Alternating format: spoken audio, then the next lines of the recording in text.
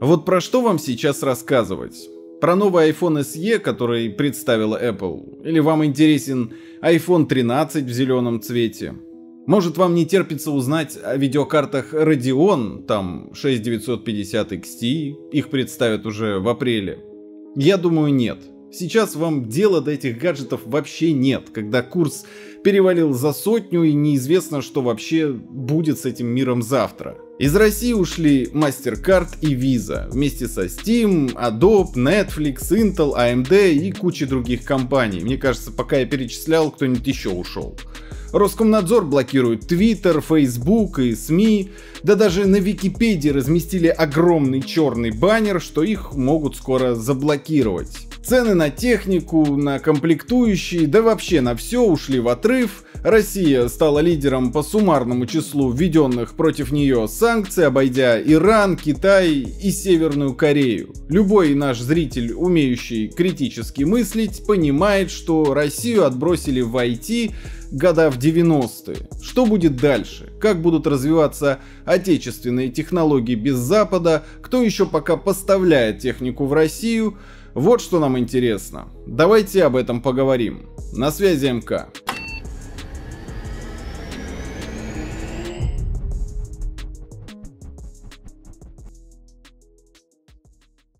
Системный администратор. Вы наверняка не раз слышали о такой профессии. Сисадмин это главный по компьютерам и сетям в компании. Хороший админ – универсальный специалист от администратора баз данных и DevOps инженера до грамотного безопасника. Специалисты в этой области сейчас очень ценны. Зарплаты системных администраторов в разы выше средних в любом регионе. Даже у нас в Калининграде сисадмину предлагают зарплату в 100 тысяч рублей при средней в 40 тысяч тысяч. Skill Factory предлагает отличный курс «Системный администратор». Он подойдет для тех, кто хочет получить базис для старта успешной карьеры в IT. Перед вами откроются широкие возможности для развития от сисадмина до технического директора. Вы детально разберетесь в устройстве компьютера, сетях и операционных системах.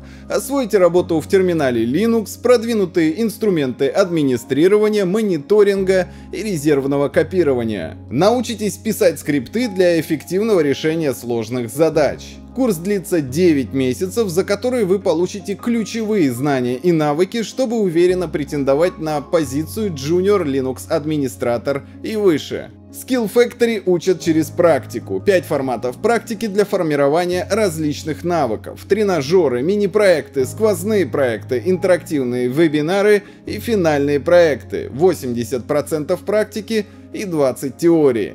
Вашими преподавателями будут опытные инженеры из ведущих IT-компаний, а персональная обратная связь от менторов, живые вебинары с экспертами и поддержка кураторов помогут успешно пройти курс до конца. Также в Skill Factory есть карьерный центр, который поможет в трудоустройстве по окончанию курса. Я проверил отзывы на различных ресурсах, и там тоже все отлично. Переходите по ссылке в описании, регистрируйтесь на курс, а по промокоду «Мой компьютер» вы получите скидку в 45%. Ссылка в описании. Напоминаю, друзья, вы находитесь на канале об IT и технологиях, и на всю ситуацию мы будем смотреть именно в этом разрезе. Сейчас неизвестно, что будет с YouTube, я, например, не вижу никаких оснований, чтобы его не блокировать, каналы, продвигающие позицию Кремля, уже прикрывают, монетизацию и рекламу отключили. Если вы хотите следить за IT-новостями, мы публикуем короткие новости в Telegram и в ВК. Подписывайтесь давайте не потеряемся. Когда все только началось, мы оперативно рассказали свое видение дальнейших событий и, к сожалению, оказались правы. Все пошло по наихудшему сценарию, осталось только заблокировать получение обновлений винды, сервисов Гугла и прикрыть YouTube. Центробанк уже на 13 дней приостановил торги на бирже и пока не спешит их возобновлять, а доллар уже давно перешагнул за трехзначную цифру. Не знаю, сколько он стоит сейчас, когда вы смотрите это видео, но всю электронику в нашу страну привозят за доллары. Ко всему прочему, россиян лишили почти всех западных IT-продуктов, из страны ушли Nvidia, AMD Intel, причем это означает, что мы не просто не сможем купить их процессоры или видеокарты, но еще и ноутбуки, готовые ПК и, возможно, даже консоли. Ушли Microsoft, EA, Blizzard, на грани Steam, Россию покинули даже CD Projekt Red с их ведьмаками и киберпанками. Ожидаемо ушли украинский GSC Game World, запретив россиянам предзаказывать Stalker 2, Голливудского кино тоже не будет, кинотеатры могут лишиться 80% прибыли и позакрываться, да и оборудование у них в большинстве своем иностранное. Аналогичные проблемы с софтом, приобрести Photoshop теперь можно только на торрент раздачах. GitHub, крупнейший в мире репозиторий открытого исходного кода, пока еще держится, но не забываем, что 4 года назад их купила Microsoft.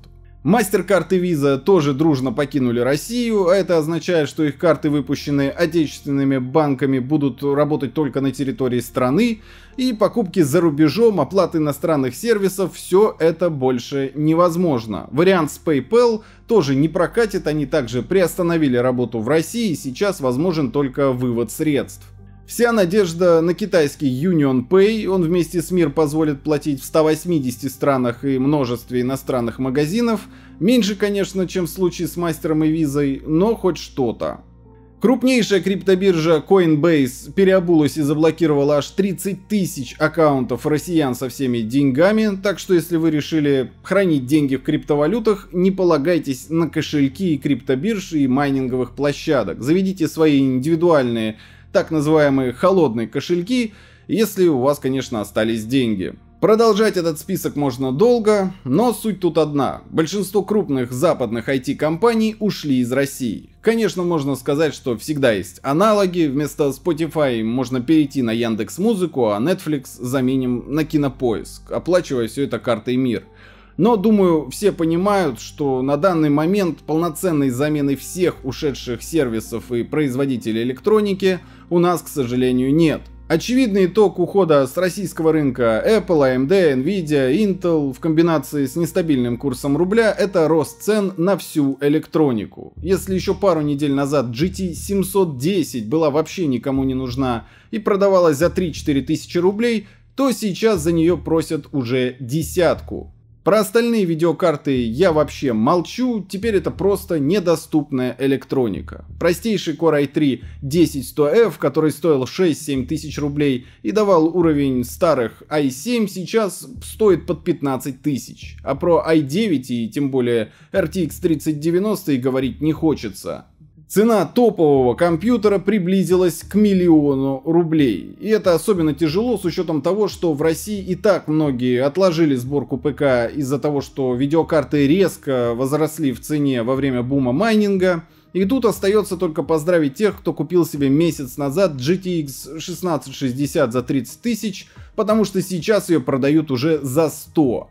Так что игрушки закончились. Играть будет просто не на чем. Рынок опустеет, мы лишимся перевода игр на русский язык. Создатели New World об этом уже сообщили. Возвращаемся в 90-е, когда на плечи пиратов ложился не только взлом и распространение, но еще и перевод. Конечно, исчезновение локализированных игр совсем небольшая проблема в сравнении с тем, что будет дальше, без возможности добыть новые CPU встанут серверы, без телекоммуникационного оборудования будет деградировать связь, проникновение технологий во все сферы нашей жизни крайне велико. Да даже оборудование для дойки коров и то частенько везется с запада. Кроме того, не все знали, но Украина крупнейший экспортер газа неон, который нужен для производства микросхем с долей в 50%. А значит дефицит электроники из-за коронавируса еще сильнее усугубится и не только в России, а по всему миру. Что будет дальше? Ну, об этом мы уже говорили. Перестройка на Китай и Южную Корею. Товарооборот России с Китаем уже вырос на 38%, но то ли еще будет. Серверами нас обеспечит Huawei, бытовой техникой Samsung, телекомом ZTE. Но очевидно, что этот переход займет не день и не два, по пути будет множество проблем, и далеко не все компании вообще настолько гибки, чтобы после удара коронавируса выдержать еще и санкции Запада. А значит, без того дорогое IT в России станет еще дороже и недоступней. Но давайте попытаемся взглянуть на ситуацию со стороны очень упертого оптимиста. К примеру, хотя формально Apple из России ушла и больше не продает у нас iPhone и MacBook, их официальные сервисные центры рапортуют, что дефицит запчастей удалось решить и негарантийный ремонт снова доступен. Samsung тоже никуда из страны не уходит, просто в связи с текущей ситуацией есть огромные проблемы с поставками в РФ, которые корейский техногигант активно пытается решить. Да даже Илон Маск, запустивший в Украине терминалы спутниковой связи Starlink, на отрез отказался блокировать доступ к русским сайтам, заявив, что поддерживает свободу слова. Ру-зону интернета мы тоже не потеряем. Два крупнейших европейских регулятора интернета отказались отключать корневые сервера и DNS в России. У геймеров тоже будет выход, если Microsoft окончательно сойдет с ума и будет блокировать Windows. Сейчас активно развивается Proton, технология трансляции DirectX в Vulkan. Ну, говоря простым языком, это возможность поиграть в свежие Windows игры на Linux. Майнинг в России побежден, мало кто из криптокопателей в РФ готов брать видеокарты по пятерной цене с возможностью окупить лишь через 3-4 года. К тому же уже некоторые крупные пулы из России тоже ушли, так что можно сказать, что бум майнинга закончился. В Cloudflare тоже сообщили, что они выше политики, а это на секундочку одна из крупнейших в мире сетей распределенных серверов, предлагающих как услуги хостингов, так и быстрые DNS и VPN. Ситуация с IT хоть и тяжелая, но не катастрофическая. Приспособиться обычному пользователю получится. Придется. По интернетам тут ходили слухи, что могут разблокировать рутрекер. Это был один из первых крупных торрент-трекеров, заблокированных Роскомнадзором, действительно за дело. У некоторых рутрекер стал грузиться без VPN. Любители кряков, репаков и BD-рипов начали было ликовать, но в правительстве заявили, что лицензию на пиратство россиянам выдавать не собираются. На том же рутрекере хватает российской музыки, кино, игры, софта, и очевидно доступ к ним отнюдь не порадует отечественных правообладателей. Так что, увы, в массе своей за свежими бесплатными релизами вам все еще придется заходить через VPN. К слову о Чебутнете. Роскомнадзор требует от провайдеров устанавливать в их сети так называемые ТСПУ, технические средства противодействия угрозам, такие черные ящики для анализа трафика. Но мало того, что стоят они пока не у всех, так еще и если через них пустить весь трафик, пользователи вспомнят времена Дайнлапа. Низкая скорость будет, короче. Да и вообще говоря, тем, кто не стал заводить себе VPN во времена ковровых бомбардировок Телеграма, пора бы уже это сделать. Роскомнадзор снова показал свое величие, заблокировал доступ к Twitter, Facebook и некоторым иностранным и отечественным новостным ресурсам, включая крупные типа BBC. Формальная причина, там было много неверной информации о ситуации на Украине – хотя в текущей обстановке вообще непонятно, какая информация верная. 11 марта Минцифры примет комплекс мер для защиты информационной инфраструктуры страны. Государственные сайты и сервисы должны перейти на использование отечественных DNS-серверов и российские хостинги, если они не сделали этого раньше. Там все очень запутанно написано, но ведомство подчеркивает, что никто изнутри интернет ограничивать не будет, и все эти действия нужны для защиты российских сайтов от злого Запада. Так ли это на самом деле? Ну, узнаем совсем скоро. Немножечко отвлечемся. Пока Роскомнадзор воюет с Рунетом, хакеры под шумок выносят у Nvidia и Samsung сотни гигабайт данных. И там не фото Хуанга на отдыхе, а максимально критичная информация по драйверам, механизму LHR и будущим продуктам. В случае с Samsung туда вообще попали данные Trust Zone, доверенной среде, куда относится информация, например, о биометрической защите. Оба взлома провела компания народных хакеров Lapsus. Почему народных, в отличие от большинства хакеров, которые просто вымогают у компании деньги за полученные данные, эти решили, что они Робин Гуды.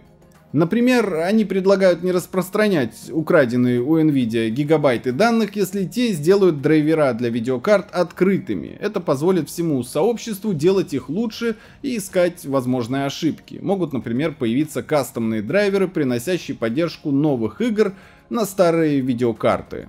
В случае с данными Samsung хакеры вообще разбили их на три архива и выложили на торренты. С учетом того, что они содержат в том числе исходные коды загрузчиков последних смартфонов компании, ждем появления кастомов под новые Galaxy. Пока наш IT-сектор находится в состоянии свободного падения, в мире наступает новая эра процессоров. Современные x86 процессоры зашли в тупик. Десяток ядер с кэшем и кучей контроллеров требуют огромных сложных кристаллов, которые трудны в производстве и по итогу серьезно увеличивают стоимость готовых решений. Выход показала нам AMD, несколько лет назад представив процессоры Ryzen, состоящие из нескольких чиплетов, отдельных небольших кристаллов, каждый из которых выполняет конкретные функции. Это позволило здорово снизить стоимость многоядерных CPU, хотя и привело к проблемам с задержками, которые AMD активно решает. И вот наконец AMD, ARM, Google, Intel, Meta, Microsoft, Qualcomm, Samsung и TSMC объявили об образовании консорциума для совместной разработки внедрения открытого стандарта соединения между этими самыми чиплетами.